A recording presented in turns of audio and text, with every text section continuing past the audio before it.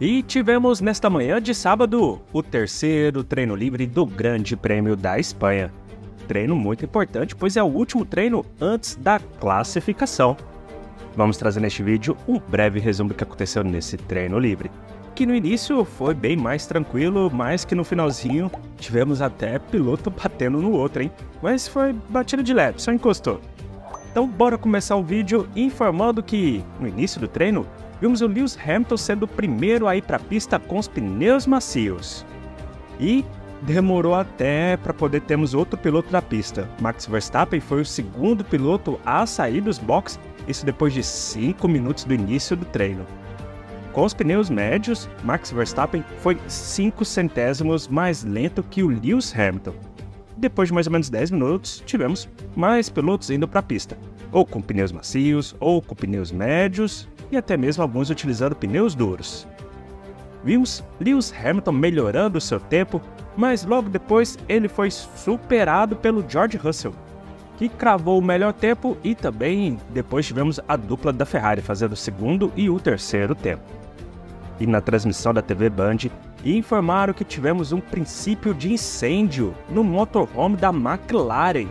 É, tá pegando fogo lá na McLaren mas tudo foi controlado e todo mundo da equipe estava bem.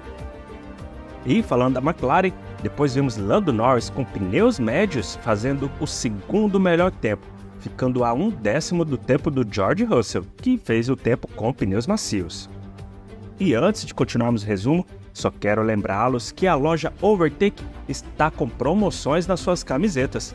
E se você utilizar o cupom POINTF1, ainda vai ganhar 10% de desconto. Então se você aí torce para Ferrari, para Mercedes, para McLaren, para Red Bull e não tem a camiseta da sua equipe de coração, clica no link que está aí na descrição do vídeo ou no comentário fixado e utilize o cupom para garantir a sua camiseta. Bom, depois vimos o Charles Leclerc elogiando seu carro, dizendo que a equipe deu um passo para frente Lembrando que ontem, na sexta-feira, Leclerc teve dificuldades com seu carro, mas parece que eles conseguiram resolver. E vimos vários pilotos fazendo simulação de corrida. Faltando menos de 20 minutos para acabar o treino, tivemos a dupla da McLaren indo para a pista com os pneus macios. Oscar Piastri fez o sétimo tempo, mas depois na transmissão mostrou que ele acabou dando uma errada, e Lando Norris fez o melhor tempo, superando o tempo do George Russell em 3 décimos. Lewis Hamilton, com novos pneus macios, fez o segundo melhor tempo, ficando a 2 décimos do tempo do Norris. E depois, George Russell superou o tempo do Hamilton, ficou com o segundo melhor tempo, ficando a um décimo do tempo do Lando Norris.